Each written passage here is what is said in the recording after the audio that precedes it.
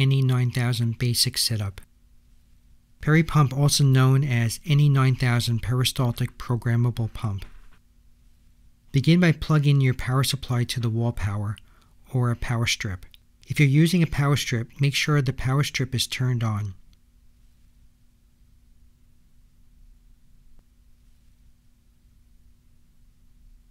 Plug your power supply into the back of the pump, round connector, and then turn on the pump by pressing the switch.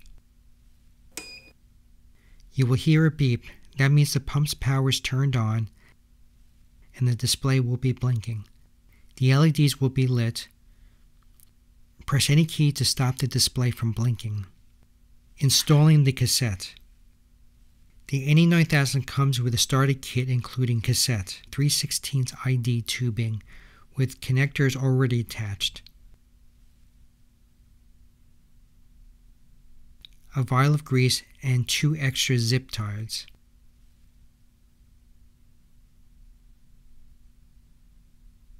The tubing has the zip ties attached both in the same direction. Installing the tubing. To install the tubing, remove the rotor.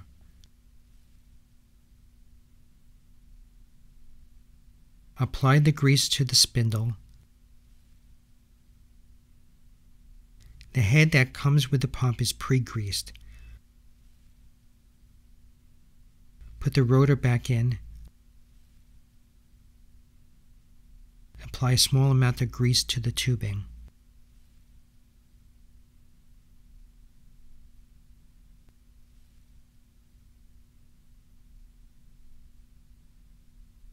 Insert the connector into the space in the head facing down.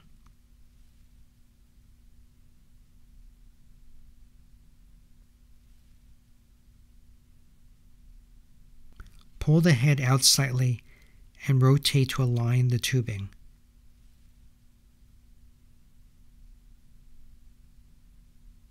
Insert the second connector into the second pocket. The tubing should roll freely.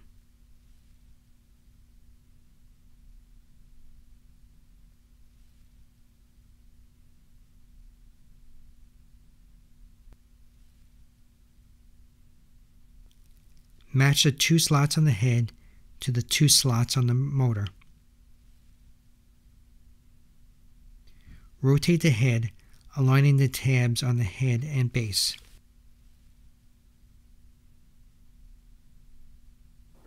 Press and turn to lock into place. You can install the head to face various directions. Direction of pumping is indicated by the arrow. This tube goes to the reservoir, upper to the output. Set infusion rate. To set the rate of infusion, press the rate key. The currently stored rate is 500 ml per minute. To change the units of the flow rate, use any up arrow key to change the units. To change the decimal point, simultaneously press both up arrow keys under where you want the decimal point to be. When the blinking stops, the new value is entered. Now you can start running the pump. Set volume rate. Press the volume key to show the volume target. Off indicates continuous pumping.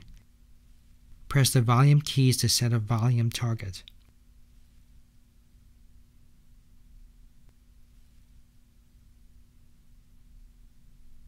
Press the volume key again to show the units dispensed.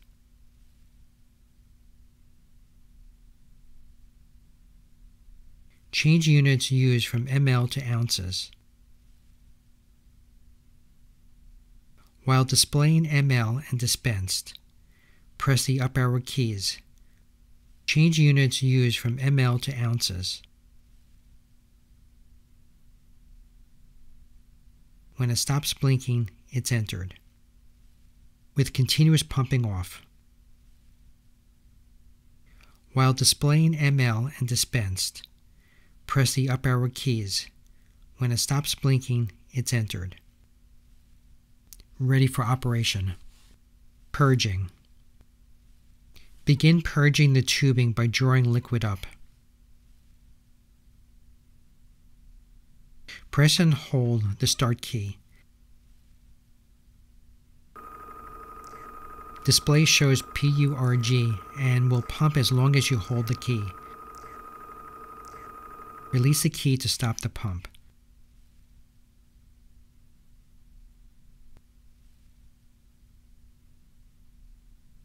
Press start to run the pumping program. The pump stops when the volume target is reached. Display the volume dispensed. Press volume to display the volume dispensed. The pumping rate can be changed while pumping. When stopped, the pumping direction can be changed to withdraw. Press start to empty the tubing.